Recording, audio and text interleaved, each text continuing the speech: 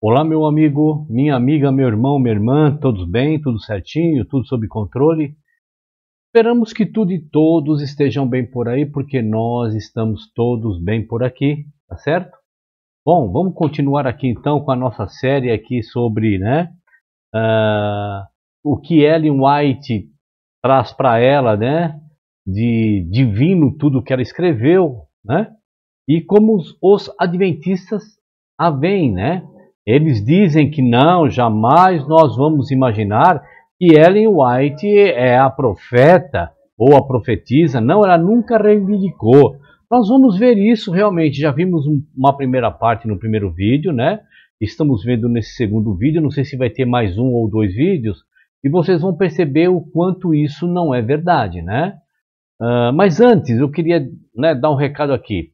Eu achei legal que vocês aí, depois do recado que eu dei no, no primeiro vídeo, né, para irem lá e darem o like, né, uh, compartilharem o vídeo, é, é, colocar ali um comentário, isso foi muito legal. Mas eu quero fazer uma observação aqui. Vou dar um exemplo.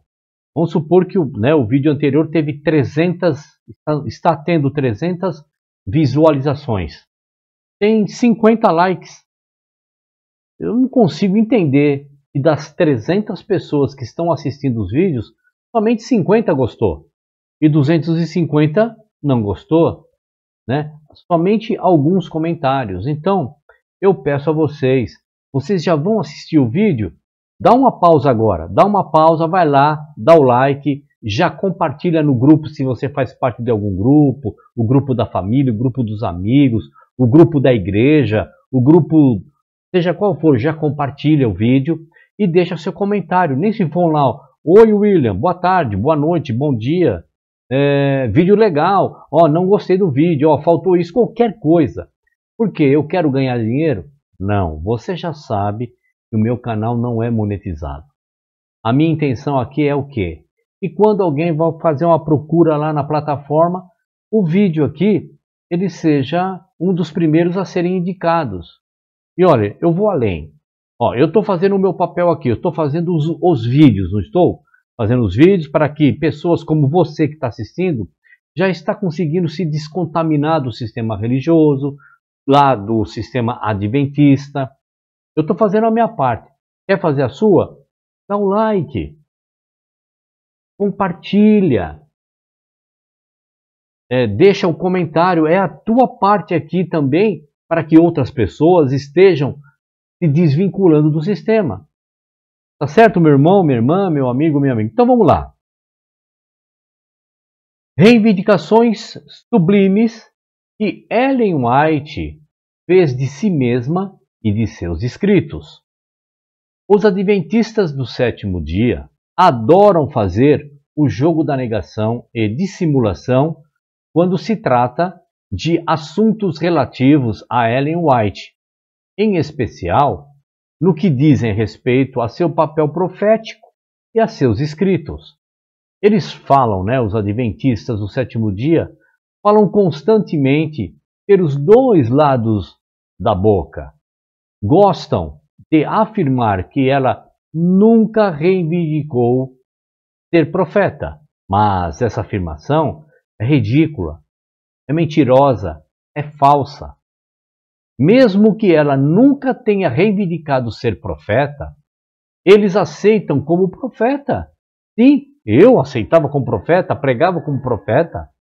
A Ellen White, eles atribuem condição e autoridade profética igual à dos profetas bíblicos. Por esse motivo, é irrelevante se ela reivindicou ou não ser profeta pois a realidade é que ela é a profeta oficial dos adventistas do sétimo dia. No entanto, a negação pelos adventistas de que ela não reivindicou ser profeta é uma mentira que é usada para enganar o público desavisado, desatento. Tanto adventista como não adventista, Ellen White reivindicou sim ser profeta. Em alguns casos, reivindicou ser mais que profeta. Você sabia? Não? Então nós vamos ler. Vamos ver o que ela disse aqui. Vamos ver.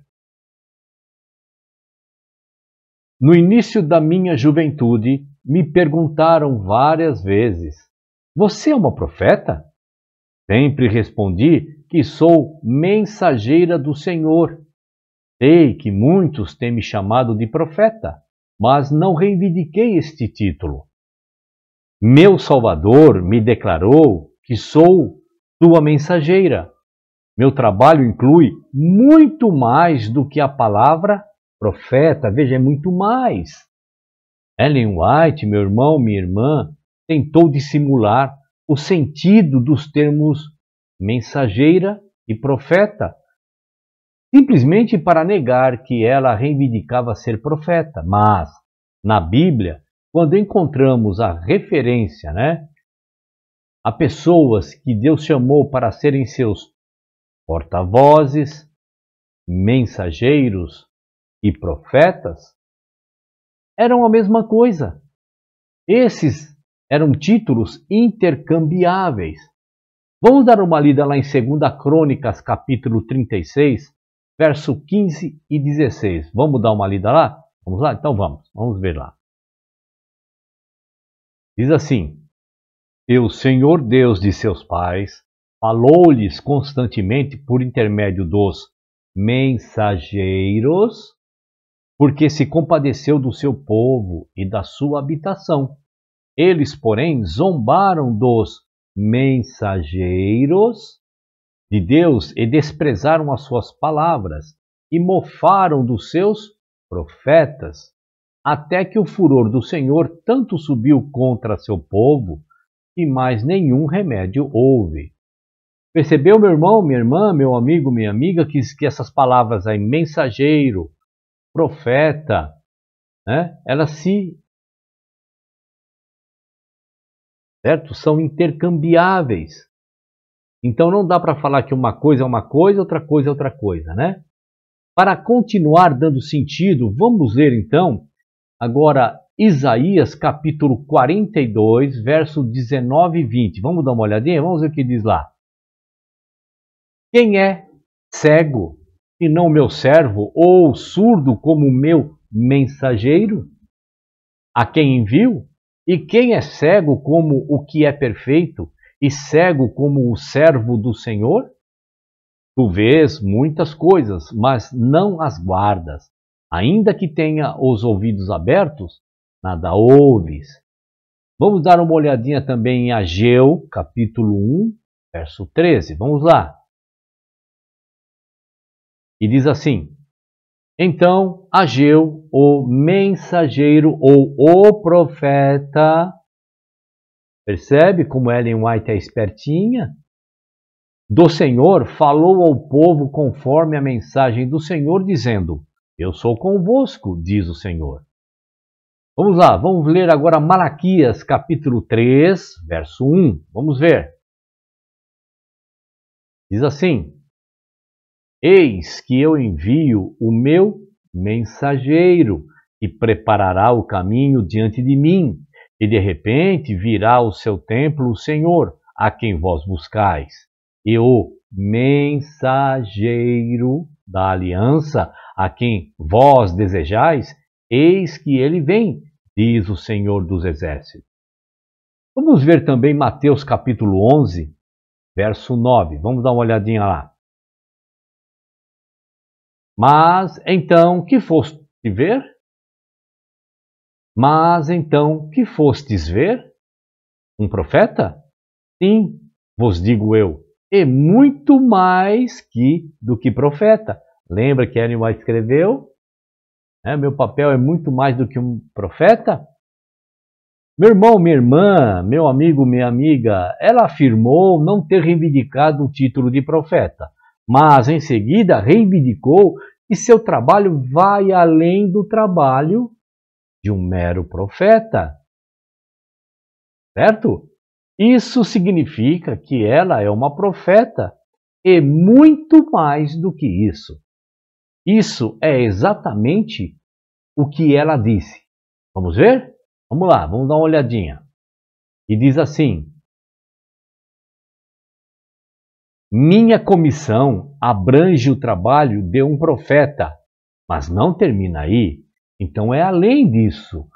Todos os argumentos e negações adventistas de que Ellen White não reivindicava ser profeta são uma farsa, uma mentira, um engodo, porque ela reivindicou sim ser uma profeta e muito mais do que isso, conforme você está lendo aí. E se realmente acreditam que ela nunca reivindicou ser profeta, então por que acreditam que ela era uma verdadeira profeta? Você está entendendo? Ela nunca reivindicou, mas eu acredito que ela seja. Porque eles, os adventistas, a aceitam como uma profeta que não é em nada diferente dos profetas bíblicos? É muito estranho, meu irmão, minha irmã, que tentem negar a condição profética de Ellen White, mas ao mesmo tempo lhe atribuam a mesma condição profética dos profetas bíblicos. Percebe, meu irmão, o jogo? Os adventistas tratam os escritos de Ellen White da maneira que fazem, porque Ellen White estabeleceu o precedente de como eles devem entender e tratar os escritos dela. Ela faz reivindicações surpreendentes e sobrenaturais para si mesma e para os seus escritos. Ellen White acreditava que tanto as escrituras quanto os seus escritos eram da autoria do Espírito Santo.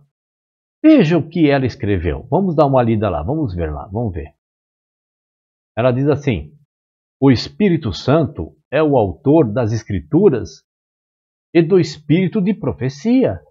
Ela reivindicou inspiração verbal para os seus escritos quando disse o seguinte: Vamos dar uma lida lá, vamos ver. Ela disse o seguinte: Vamos lá. O Espírito de Deus trabalha em minha mente e me dá palavras apropriadas para expressar a verdade. Essa inspiração verbal também foi reivindicada quando ela também afirmou o seguinte: vamos dar uma lida lá, vamos ver. Ela disse o seguinte: Ao escrever esses livros preciosos, caso eu hesitasse, eu recebia a exata palavra que eu queria para expressar a ideia. O que é chocante, meu irmão, minha irmã, meu amigo, minha amiga, no caso dessas reivindicações que Ellen White faz de si mesmo, de ter recebido inspiração verbal, é que ela reivindicou isso para si, mas negou para os escritores da Bíblia. Ellen White disse o seguinte: vamos dar uma lida lá, só para entender. Ela disse o seguinte: olha só a reivindicação divina verbal, ela assume que veio para ela. E é o seguinte: Deus deu palavras para ela. Agora, ela nega isso quando se trata da Escritura. Quer ver? Vamos lá. Ela disse assim: ó, não são as palavras da Bíblia que são inspiradas, mas os homens é que foram inspirados. O efeito da inspiração não ocorre nas palavras ou nas expressões ditas pelo, pelo homem, mas no próprio homem, o qual, sob a influência do Espírito Santo, é imbuído de pensamentos. Ela continua: Mas as palavras do profeta recebem a marca de sua mente individual. Compreendeu? Ela escreve que Deus colocou as palavras na boca dela. Mas no caso aqui da Bíblia, ela diz que não, não é esse o problema, ou não é assim que deveria ser. Nessa declaração, meu irmão, Ellen White inequivocadamente rejeitou e negou a inspiração verbal das Escrituras, mas, ao mesmo tempo, declarou a inspiração verbal de si mesma e de seus livros. O que isso, logicamente, significa é que, no seu subconsciente, lá na mente dela, lá, lá, né? Ellen White imaginou que seus escritos eram inspirados em um grau mais elevado do que as próprias escrituras. Meu irmão, minha irmã, meu amigo, minha amiga, é impossível pessoas inteligentes não entenderem o que essas declarações estão dizendo. Como também é impossível essas declarações serem tiradas de contexto, que é o que os adventistas do sétimo dia afirmam incessantemente sempre que se examina alguma declaração de Ellen White que mostra seu ensino heterodoxo ou herético.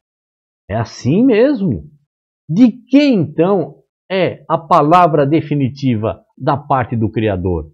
É do Cristo, do Salvador ou de Ellen White? Ellen White, meu irmão, chegou ao ponto de parecer substituir Jesus como o meio definitivo pelo qual Deus fala com as pessoas. É, ela escreveu o seguinte: vamos dar uma olhada lá para a gente contextualizar, dar fonte e tudo mais. Vamos lá, vamos ver? Ela diz o seguinte: Nos tempos antigos, olha só, Deus falou aos homens pela boca de profetas e apóstolos. Nestes dias, ele fala com eles pelos testemunhos de seus de seu espírito, ou seja, os escritos de Ellen White. Nunca houve uma época quando Deus instruiu mais seriamente que agora. E ela continua dizendo: o seu povo a respeito de sua vontade e do caminho que deseja que sigam. Mas será que o povo se beneficiará com os ensinos divinos? Será que receberá as repreensões divinas e dará ouvidos às advertências? Deus não aceitará nenhuma obediência parcial. Não aprovará nenhuma concessão que as pessoas façam para si mesmas. Meu irmão, minha irmã, nessa declaração há um enorme número de afirmações inequivocadamente claras, mas ao mesmo tempo arrogantes. Para começar, Ellen White reescreve Hebreus capítulo 1, verso 1 e 2 e substitui Jesus, né, o Cristo, por ela mesma em seus escritos. Ah, não? Vamos ver, vamos comparar o que ela falou aqui, né? Com Hebreus capítulo 1, verso 1 e 2. Vamos ver lá. Então ela disse, né? Nos seus escritos aqui, que Deus antigamente falou através dos seus profetas e hoje fala através dos escritos dela. Vamos ver Hebreus aqui o que ela fez, como ela substituiu uma coisa por outra. Diz assim: Havendo Deus antigamente falado muitas vezes e de muitas maneiras aos pais pelos profetas, a nós falou-nos nestes últimos dias pelo Filho e não por seus escritos, Ellen White. Verso 2: A quem constituiu herdeiro de tudo, por quem fez também o mundo. Percebe a crueldade, irmão? né, e os adventistas, que são os meus irmãos que eu amo tanto, aqui nesse engodo. Assim, o engano, o engodo é, é todo o sistema religioso. Eu sempre digo isso. Mas aqui estamos falando do adventismo. Tá certo? Então eu amo demais meus irmãozinhos ali dentro, até a testa, enterrado nesse tipo de coisa. O autor de Hebreus estava traçando um contraste entre a maneira de Deus falar com os antepassados e o meio que ele usou para, para falar através de Jesus nos últimos dias. Está claro isso na passagem. Nos últimos dias, Deus fala definitivamente por meio de seu Filho Jesus Cristo. Não fala por intermédio de Ellen White. E Ellen White copiou essa passagem e transcreveu para ela. Ellen White, meu irmão, minha irmã, meu amigo, minha amiga, leu essa declaração, removeu Jesus e se colocou como aquela voz definitiva por meio de quem Deus fala nos últimos dias. Vamos ler novamente o que ela escreveu? Vamos dar uma olhadinha? Vamos lá, vamos ver. Ela disse assim: Nos tempos antigos, Deus falou aos homens pela boca de profetas e apóstolos Nestes dias, ele fala com eles pelos testemunhos de seu espírito. Percebe, irmão, como está claro isso? Isso é arrogante. Isso é uma empáfia. Hã? Ellen White está usurpando o lugar de Cristo como a voz mais definitiva e oficial da parte do Criador para os últimos dias. Em segundo lugar, meu irmão, Ellen White lança muita sombra sobre a maneira que o Criador falou antes da época da própria Ellen White e exalta que não há nada mais claro do que aquilo que ela fala em nome de Deus, em nome do Criador. Isso fica atente quando ela afirmou o seguinte. Vamos dar uma lida lá, vamos ver? Ela disse o seguinte: Nunca houve uma época quando Deus instruiu mais seriamente que agora o seu povo a respeito de sua vontade e do caminho que deseja que sigam. Percebeu, meu irmão?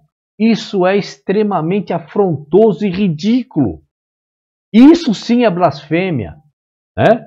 No meu, no, nos meus vídeos aí, vocês já sabem, eu tenho ali uma explicação sobre o que é blasfêmia. Blasfemar não é falar, xingar, não. Blasfemar é colocar no lugar de. É isso que Ellen White faz de si mesma. Ela se coloca no lugar do Cristo.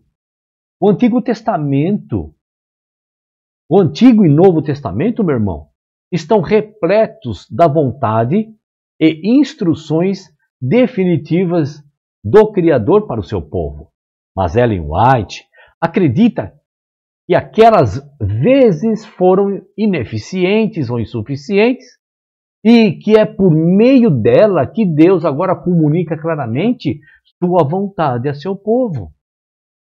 Agora, em terceiro lugar, meu irmão, Ellen White deixou claro que aquilo que ela estava comunicando era a vontade, os ensinos, as repreensões e as advertências de Deus.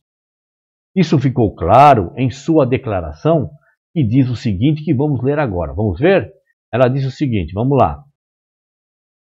Mas será que o povo se beneficiará com os ensinos divinos? Será que receberá as repreensões divinas e dará ouvidos às advertências? Deus não aceitará nenhuma obediência parcial, não aprovará nenhuma concessão que as pessoas façam para si mesma. E por último, ela declarou incisivamente que Deus exige plena obediência aos escritos e instruções dadas dados por ela. Percebeu, meu irmão, minha irmã, meu amigo, o que ela fez com os seus próprios escritos? Agora eu faço uma pergunta para você, adventista ou ex-adventista. Você já tinha ouvido isso? Que Deus falava antigamente, né? Através dos profetas. E a Bíblia diz lá em Hebreus capítulo 1, verso 1, que agora fala através do Filho. Mas ela tirou o filho e colocou ela mesma. Percebeu, meu irmão? Importância, funções e propósito dos escritos de Ellen White. Será o tema do nosso próximo vídeo. Certo? Um abraço, legal que você veio aqui. Fiquem na paz e até o próximo vídeo. Até lá.